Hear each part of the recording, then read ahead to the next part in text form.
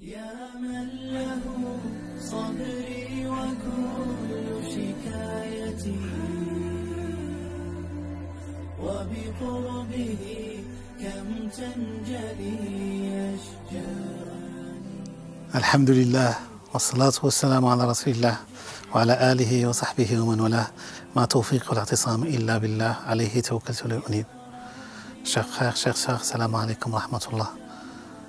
Dans la vie des fidèles, il y a des moments, il y a des instants, il y a des endroits où l'accomplissement des bonnes œuvres est plus agréable à Allah subhanahu wa ta'ala. Et parmi ces moments-là, c'est la première décade de Dhul Hijjah, la période de pèlerinage, la période des Hajj. Allah subhanahu wa ta'ala, dans Surat al-Fajr, il a juré, il a juré par, par la première décade. Wal-Fajri wa. Dans le hadith authentique rapporté par l'imam Bukhari sur Abdullah ibn Abbas, le prophète sallallahu sallam disait qu'il n'y a pas de jour où l'accomplissement de bonnes œuvres est plus aimé par Allah, plus agréable qu'Allah que pendant ces dix jours. C'est important pour nous, mes chers frères et sœurs, de tirer profit de ces instants. Ces moments où, nous, où Allah nous permet, nous montre la voie pour exceller dans notre relation avec lui nous demande de donner le meilleur de nous-mêmes afin d'aspirer à son amour et d'accéder à sa proximité. Alors, quelques éléments de réponse, mes chers frères et sœurs.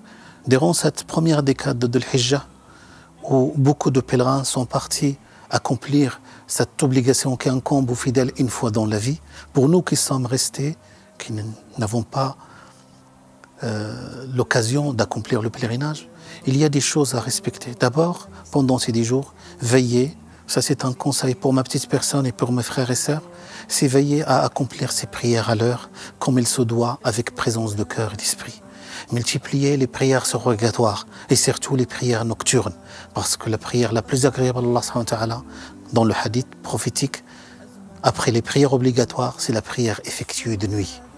La prière de nuit a plus d'efficience, est plus efficiente, a plus d'impact sur le cœur lorsqu'il est accompli avec présence de cœur et d'esprit. Deuxième chose, c'est qu'il faut mentionner Allah énormément. Il faut accomplir beaucoup de dhikr, beaucoup de présence à Allah Le dhikr, c'est la seule adoration lorsqu'il est cité dans le Coran. Il ira, tout de suite, il est rappelé le fait de l'accomplir énormément, de la fête de manière inlassablement. Ya. Vous qui portez la foi, mentionnez Dieu énormément, inlassablement, sans cesse. Le prophète sallam nous a montré comment mentionner Allah Azza wa Jal. لا إله إلا الله سبحان الله وبحمده سبحان الله العظيم أستغفر الله العظيم وأتوب إليه. ربي اغفر لي وتوب علي إنك التواب الرحيم. اللهم صل على محمد وعلى آل محمد. إكسيتيرا إكسيتيرا Dans cette, dernière, cette première décade de, de, de l'Hijjah, essayez d'avoir une relation particulière avec le Coran, avec la parole d'Allah Azzawajal. Lecture, euh, mémorisation, explication, afin de se ressourcer, de tirer profit de la parole d'Allah subhanahu wa ta'ala. Le prophète sallam disait dans le hadith Man bihi faqad. Ça veut dire celui qui s'agrippe sur le Coran, il tire énormément de profit énormément de bienfaits sur soi et sur le monde qui nous entoure. Et en dernier lieu, mes chers frères, c'est de jeûner. Le professeur Aslam avait l'habitude de jeûner. Et si on ne peut pas, au moins jeûner le jour de Arafah. Le jour de Arafah, le prophète Aslam disait dans le hadith de l'imam muslim que le prophète Aslam dit que le jeûne de mois Arafah pardonne l'année passée et l'année qui vient. Deux ans de pardon, d'absolution de nos péchés. qu'Allah subhanahu wa ta'ala nous accepte. Wassalamu alaikum wa rahmatullahi ta'ala wa barakatuh.